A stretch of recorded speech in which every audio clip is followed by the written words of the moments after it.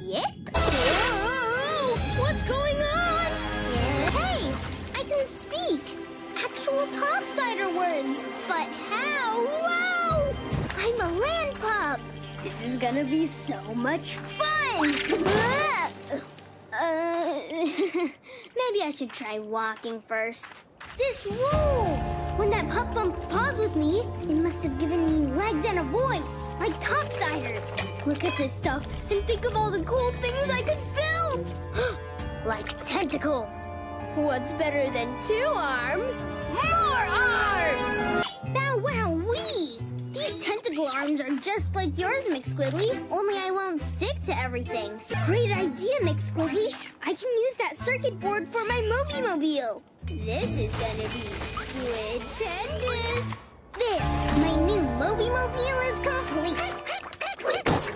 Except this island's so tiny, and I miss Puplantis. But without all that ridiculous singing and dancing, if only I could get the merpups to go away. That's it! If I float the whole city on top of the water like that floaty, the merpups will have to leave for sure. But how can I raise up an entire city? That's it! If I filled all of those floaties with air, they could lift Puplantis up to the surface! With Puplantis above the surface and the merpups needing to stay underwater, the whole city will be mine without any singing or dancing! I'm a genius! Right, McSquiddly? Ugh, oh, why must those merpups sing so much? It makes it hard to focus on my genius plan.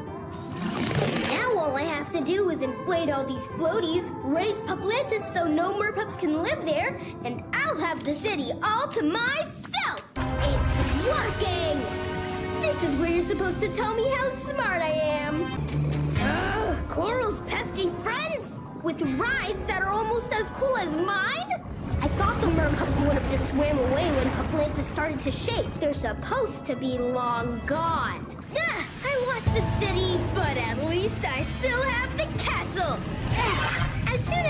reach the surface, I'll use my remote, crank up this propeller, and sail my castle island far away where there will be no celebrations or singing!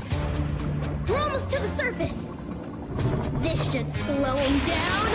Time to get you annoying aqua pups off my island. This super slick move will send him overboard.